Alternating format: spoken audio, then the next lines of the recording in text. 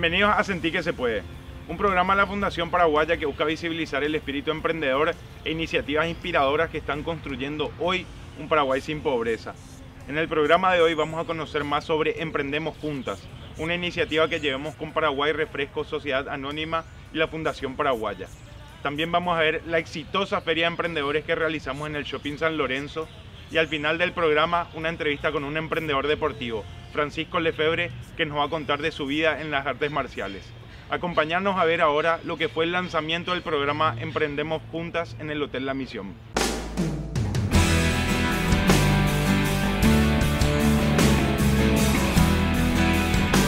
Para nosotros es muy importante entender que el tema de la mujer es un tema que hay que visibilizarlo. Entendemos que el 66% de todo el trabajo del mundo está hecho por mujeres. Sin embargo, solamente el 10% de los ingresos que se generan van a las mujeres. Entonces es muy importante para nosotros poder sentir eh, y valorar la, relevancia que tiene la mujer dentro del desarrollo de la comunidad y de la familia. Para eso hicimos una alianza con la Fundación Paraguaya para poder brindar las herramientas y las capacidades a estas 700 mujeres que van a estar participando del programa. Para nosotros es fundamental trabajar en alianza con el sector social. Y la Fundación Paraguaya creemos que tiene la expertise de trabajar con mujeres y al mismo tiempo, como dijimos, no solamente a lo mejor cuestiones que tengan que ver con la administración propia del negocio, sino que cuestiones que tienen que ver más con, un tema de autoestima o con una cuestión de generar motivación o generar un sentido de comunidad, porque estas mujeres se integran a un comité. Entonces eso también creo que eleva mucho el sentido social y de pertenencia de estas mujeres a la comunidad. Saber que estamos aportando a mejorar las condiciones de vida de estas personas y de su, y de su entorno para nosotros eso es eh, el logro principal de esto, ¿verdad? Claro que queremos que estas mujeres sean prósperas, claro que queremos que las relaciones comerciales se fortalezcan, pero por sobre todo queremos que las comunidades y las familias que están en torno a estas mujeres eh, puedan mejorar sus condiciones de vida. Bueno, el trabajo que nosotros venimos realizando con Pareza desde julio del 2017 se trata de hacer capacitaciones en educación financiera y con principios sobre la equidad y la prevención de la violencia. Nosotros, el objetivo principal es empoderarle a la mujer acá en Paraguay. Nosotros trabajamos muchísimo todas las herramientas que permiten fortalecer capacidades y em, promover o potenciar las habilidades que te tienen las señoras, ¿verdad? ¿De qué tipo de señoras estamos hablando? Las señoras que tienen un emprendimiento o que quieren empezar un emprendimiento. ¿Y cómo hacer para que esos negocios que tienen sean más fructíferos o más sostenibles? O para aquellas mujeres que recién están empezando, hacer em, un plan de negocio que les ayude a llevar adelante el negocio ya con un, con un marco más estructurado, ¿verdad? Con, un, con una visión, con un objetivo, con una misión.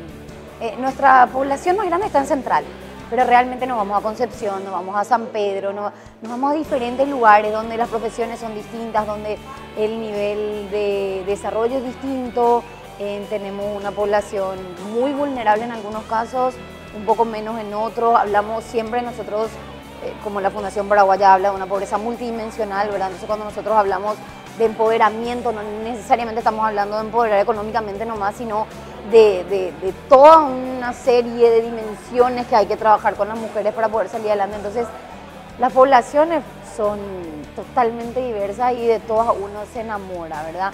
Pero son mujeres en situación de vulnerabilidad y que se encuentran mayoritariamente en barrios que son vulnerables, ¿verdad? Nosotros trabajamos mucho en el Bañado Sur, trabajamos en la Chacarita, de repente visitamos muchos asentamientos también, ¿verdad? Entonces la idea es un poco eh, conocer cuál es el desarrollo de esas mujeres y adaptar todas nuestras capacitaciones de acuerdo ya al desarrollo que ellas tengan. Yo conocí a la Fundación Paraguaya a través del programa de radio que se llama Sentí que se puede y todas las historias que ahí en ese programa iban contando las mujeres, yo me sentía identificada. Y como yo trabajo en mi comunidad, en Loma de San Jerónimo, decía, esa herramienta hace falta en el barrio para trabajar con las señoras.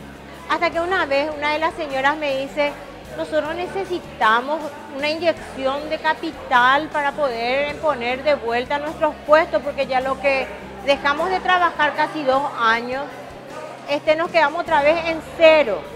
Y yo dije, bueno, este es el momento de llamar a la fundación. Llamé enseguida, una asesora se reúne con nosotras, con un grupito, nos explica la temática, nos explica el proyecto, nos, nos habla de cómo tenemos que ir caminando y fundamos el comité. Hoy estamos en un momento muy especial, ¿por qué? Porque Loma San Jerónimo vuelve a tener la actividad de interés turístico. Gracias a Dios, la gente de tanto nacional y extranjera utiliza ya Loma San Jerónimo como un lugar de ir a pasar un momento distinto, eh, alegre y sobre todo comparte con nosotras que le atendemos y comercializamos nuestros productos. Pero es muy importante acotar que nosotros nos acercamos a la fundación no solo por eh, tener la oportunidad de recibir esa inyección de capital operativo, sino que más bien por el acompañamiento que nos dan y sobre todo las capacitaciones. La Fundación Paraguaya para nosotros las mujeres emprendedoras de Loma San Jerónimo es un respaldo, es como un papaguazú que está ahí para salir a apoyarnos, para seguir este, acompañándonos y sobre todo para seguir capacitándonos. Nosotros hemos hecho inclusive un listado de capacitaciones que queremos para seguir optimizando nuestros servicios.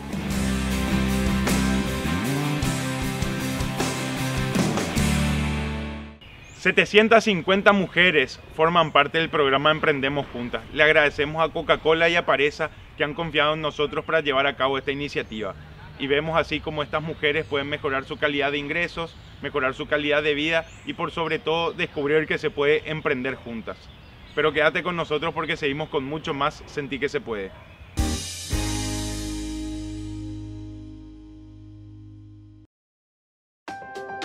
¿Te gustaría ser parte de un grupo de mujeres que progresan juntas? Unite hoy mismo a un comité de mujeres emprendedoras de la Fundación Paraguaya y accede a créditos solidarios, capacitaciones y asesoramiento continuo para iniciar tu negocio y mejorar tu calidad de vida y la de tu familia. Para más información, llámanos al 609-277 o acércate a una de nuestras oficinas. Fundación Paraguaya, sentí que se puede. Te invitamos a vivir una aventura inolvidable en el Hotel Escuela Cerrito. Naturaleza y confort en un solo lugar, con habitaciones cómodas y climatizadas, áreas de descanso, meditación, diversión y deportes, amplios senderos y una renovada zona de piscina, quincho y bar, salones para charlas y conferencias y deliciosos platos elaborados con productos orgánicos de su propia granja. Hotel Cerrito, Ruta Transchaco, kilómetro 46 y medio. Benjamín Aceval, Chaco Paraguayo.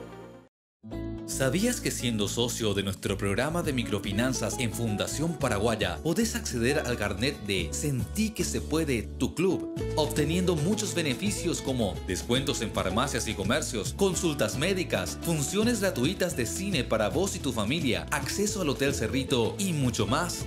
Llámanos al 609-277 o acércate a una de nuestras oficinas. Fundación Paraguaya, sentí que se puede.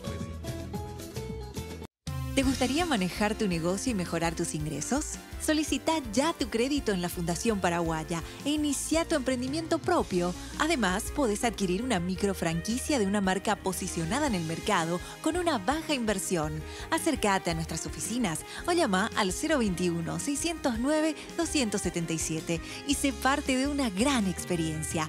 Fundación Paraguaya, sentí que se puede.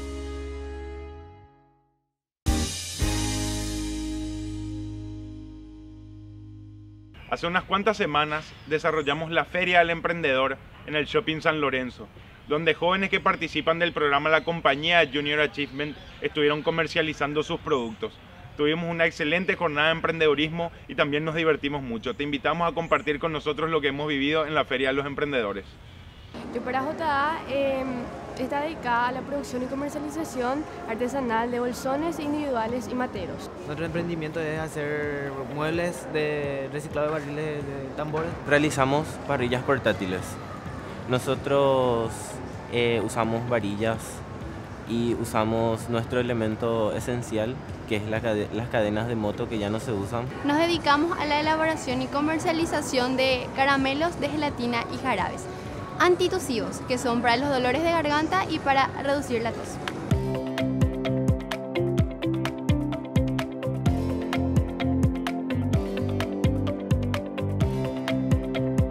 Es la Feria Emprendedores 2017 del programa La Compañía y del, programa La Cooperativa.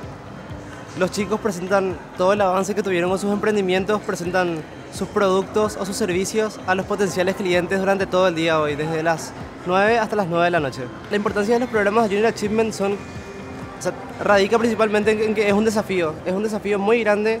Es una gran responsabilidad llevar una microempresa en manos tan, en, tan poco, en tan corta edad. Eh, yo te, teniendo 16 años, eh, saber administrar mi tiempo es muy, es muy complicado, vamos a decirle. Porque como todo joven, eh, queremos hacer muchas cosas.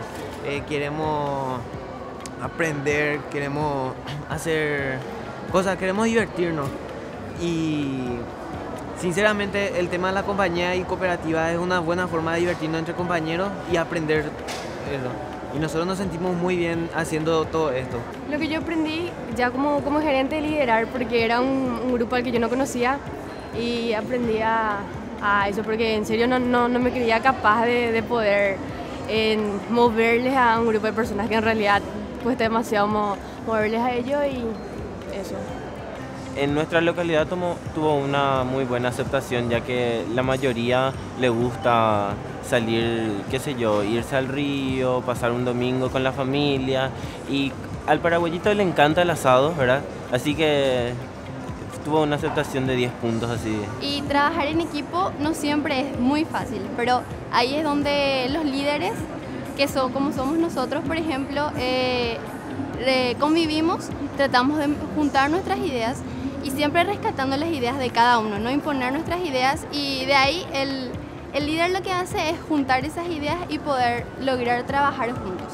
Una vez que, que- que entienden, analizan la situación y, y ven, la, ven, la, ven la oportunidad que, que, que les, que les brindan los programas de Junior Achievement, a partir de ahí toman la, toman la iniciativa, toman la posta, vamos a reunirnos, vamos a trabajar con nuestro emprendimiento, podemos hacer algo bueno por nuestras comunidades, podemos hacer algo bueno por, por nuestros colegios, podemos dejar un legado en el colegio y eso, eso es lo que, lo que hace que, que tenga tanta fuerza dentro de, dentro de los colegios eh, los emprendimientos de, de- los emprendimientos y los programas de Junior Achievement.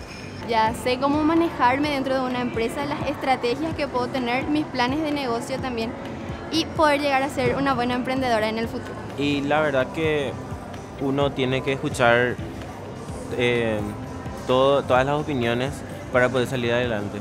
Porque si es que tipo te centras o te cerrás en lo que vos decís, no, no, no sabes si está bien o mal, ¿verdad? Capaz que esté mal y capaz que lo que la otra persona te diga esté bien, ¿verdad? Y te ayude a poder salir adelante.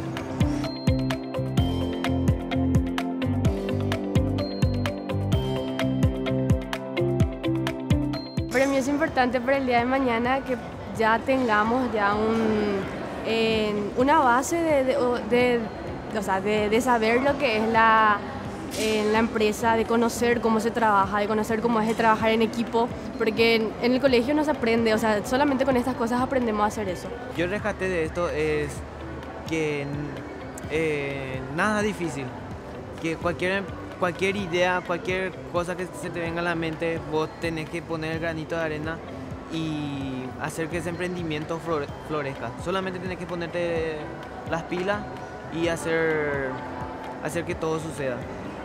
Y es así como con este programa los jóvenes aprenden a comercializar sus productos, a desarrollar una estrategia de marketing, a dividir el trabajo para así poder maximizar sus utilidades. Fue una jornada excelente la que pudimos vivir gracias al programa La Compañía Junior Achievement y al San Lorenzo Shopping.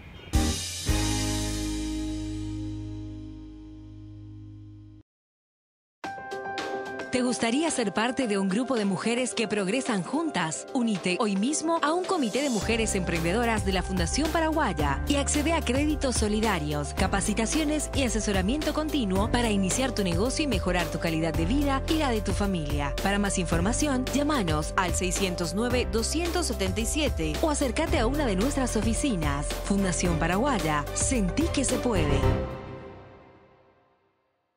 Invitamos a vivir una aventura inolvidable en el Hotel Escuela Cerrito. Naturaleza y confort en un solo lugar. Con habitaciones cómodas y climatizadas, áreas de descanso, meditación, diversión y deportes, amplios senderos y una renovada zona de piscina, quincho y bar, salones para charlas y conferencias y deliciosos platos elaborados con productos orgánicos de su propia granja. Hotel Cerrito, Ruta Transchaco, kilómetro 46 y medio, Benjamín Aceval, Chaco, Paraguayo. ¿Sabías que siendo socio de nuestro programa de microfinanzas en Fundación Paraguaya podés acceder al carnet de Sentí que se puede tu club, obteniendo muchos beneficios como descuentos en farmacias y comercios, consultas médicas, funciones gratuitas de cine para vos y tu familia, acceso al Hotel Cerrito y mucho más? Llámanos al 609-277 o acércate a una de nuestras oficinas. Fundación Paraguaya, sentí que se puede. ¿Te gustaría manejar tu negocio y mejorar tus ingresos? Solicita ya tu crédito en la Fundación Paraguaya e inicia tu emprendimiento propio. Además, puedes adquirir una micro franquicia de una marca posicionada en el mercado con una baja inversión. Acércate a nuestras oficinas o llama al 021-609-277 y sé parte de una gran experiencia. Fundación Paraguaya, sentí que se puede.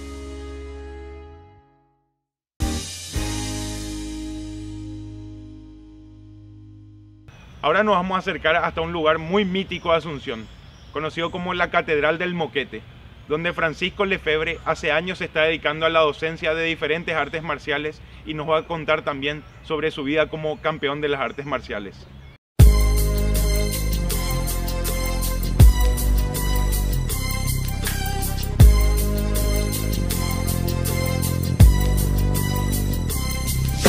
As I walk through the valley of the shadow of death, I take a look at my life and realize there's nothing left. Cause I've been blasting and laughing so long. Nos acercamos hasta la Catedral del Moquete para hablar con un campeón del ring y de la vida. Muchas gracias, Francis Lefebvre, por recibirnos aquí en tu casa, en tu catedral. Gracias, Bruno, y también es tuya que venía a moverte un poco acá.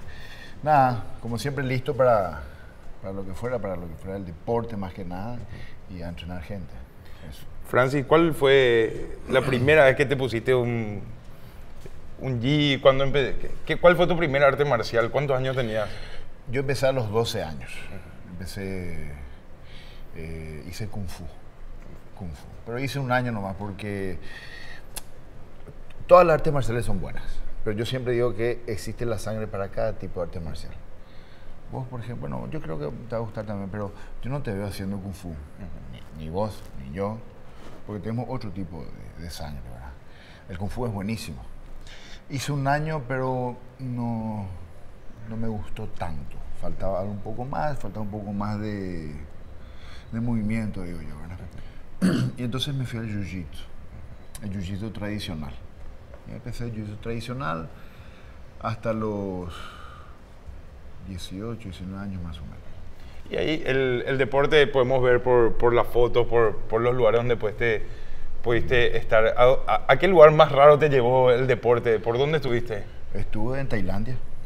En Tailandia estuve 12 días en un centro de alto rendimiento de Muay Thai. Eh, estuve en Corea. En Corea estuve viviendo 8 meses.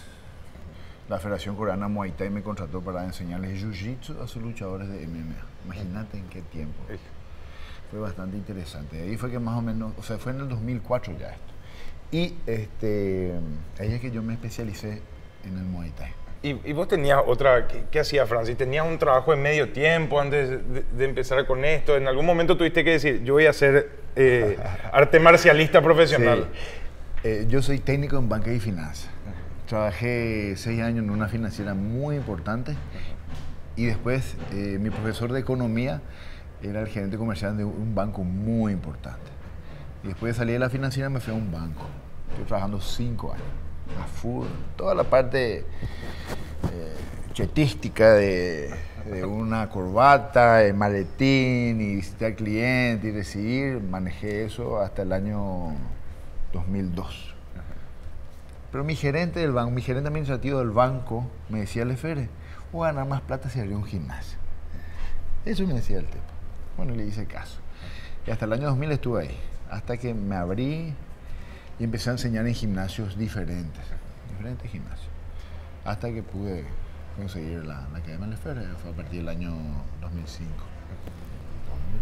Y ahí cuando eh, uno dice, bueno, yo estoy dedicándome profesionalmente a esto, tiene que tener también la vocación de enseñar, porque uno puede ser un gran luchador, pero un pésimo profesor, ¿verdad? Tal cual, así mismo. Uf, eh, el tema de la, didáctica y la pedagógica es, es bastante peliagudo, diría yo, y, más que nada hay que saber cómo enseñar. ¿verdad? Porque está el que no entiende ni atrás ni adelante, y hay una, unos pasos a seguir para que al menos tu, profesor, tu alumno en el futuro pueda hacer llegar mejor que vos, que esa es la idea, ¿verdad? La idea es que tu alumno sea mejor que vos. Eh, es un tema, enseñar. Ahora, la gente que está enseñando también acá fueron gente formada por mí. Entonces, eh, tienen también cierto toque de, de, de- de buen, de buen trato más que nada. Ahí hay algo súper interesante. Mucho tiempo hoy creo que ya cambió la cultura, pero se estigmatizaba el arte marcial. No, un arte marcialista, un tipo violento, eh, incontrolable. Al revés, ¿cuáles son los valores que hay detrás de, de los, de las artes marciales? Sí, sí, sí. Eh, primero, eh, yo ya no soy más de la vieja escuela. Anteriormente vos te ibas a un gimnasio y vos llegabas, nunca hiciste nada, ya te ponían los guantes y te metían a, a sparring con, con un tipo ya que sabía y obviamente nunca más venías. pues sí, claro. Nunca más. Nada, eh, yo siempre digo que la, el, la práctica de artes marciales dentro de la formación del niño, pues empezamos de un niño, de un joven, es muy interesante, porque le enseña ciertos valores muy buenos que se practican dentro de las artes marciales. Las, artes marciales, como así le dicen, marcialidad, es el, el mayor le enseña al menor, pero el mayor tiene que tener eh, valores interesantes que tiene que transmitir, mejor que nada para los niños. Estamos hablando de disciplina, responsabilidad, este autocontrol. Te comento, cuando yo empecé a entrenar, a mí me enviaron, eh, porque era un- una persona eh, hiperenérgica. Bueno, entonces debería, debería canalizar eso. Bueno, y después está toda la parte de salud, que es lo más importante, ¿verdad? Eh, no hay mejor catarsis que venir un día y pegar bolsa. pues. Si, tu- si tuviste un día estresado en la oficina, venía a pegar bolsa. Poner la cara de tu cliente a la bolsa y le das duro. Eh, son formas de, canalizar un poco las energías que te sobran. ¿Y cuál, cuál fue una pelea de Iván Drago Rocky? ¿Cuál fue así tu, tu- la pelea que Bruno. antes de dormir decís, No, mira, Bruno. esto fue un sueño? Bueno, un- eh, si fue un sueño o la pelea más dura. porque No, son- la- o sea, una pelea que vos te recuerdes con, con mucha alegría, o porque fue duro, porque, o sea, porque ganaste. Wow, eh, son muchas. Eh, cuando gané el, gané el campeonato del mundo de la WKU, que fue en San Pablo, peleé contra un tipo que peleó hasta con el diablo, te iba a decir, peleó con todo el mundo, un tipo muy denso. Esa vez, después cuando peleé en Francia, cuando peleé en Italia, muchas, dem- demasiado, muchos recuerdos. Imagínate, son, tengo 57 peleas de kickboxing y Muay Thai, 57 de las cuales perdí 7. Tengo 25 peleas de MMA, perdí 4. Y dos peleas de boxeo profesional y las dos ganadas. Ahora voy, quiero pelear por el título nacional de boxeo empezado que no hay. Ese es la próxima, el próximo objetivo deportivo. Una mamá que está dudando que su hijo de 5, 6, 7 años empiece un arte marcial ahora porque dice, no, no va a aprender nada. ¿Y qué, qué le puedes decir vos a esa? No, eh, honestamente, eh, pensar así no, no, no le va a llevar a ningún lado, al contrario, le va a dejar atrás. Te puedo, te doy la otra cara de la moneda. Tengo muchas madres que llaman, muchas ya- madres que llaman por el tema del bullying. El tema del bullying que ahora, bueno, el bullying siempre fue una, una historia que hubo dentro del- de los colegios. Eh, anteriormente se llamaba de otra manera nomás, ahora le dio un nombre más científico y más caté. Pero el bullying siempre existió. Trabajar contra eso, uno le vas a venir a, a enseñarle acá a- al pibe, a 8 o 9 años que sea violento y que le pegue al otro compañero, no.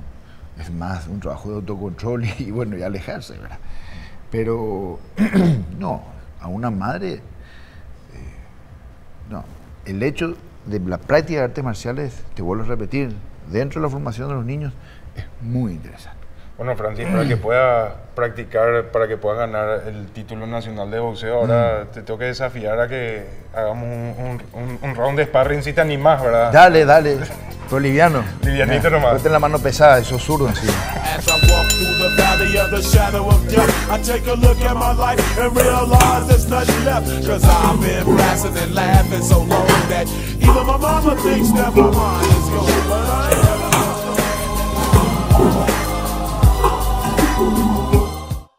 Ha sido una entrevista súper divertida la que hicimos a Francisco y también un poco dolorosa por el final que tuvimos que pasar, pero por sobre todo ver que a través de las artes marciales uno puede adquirir disciplina, puede adquirir orden y por sobre todo muchísimo autocontrol. Te agradecemos a vos que nos acompañaste durante todo este programa.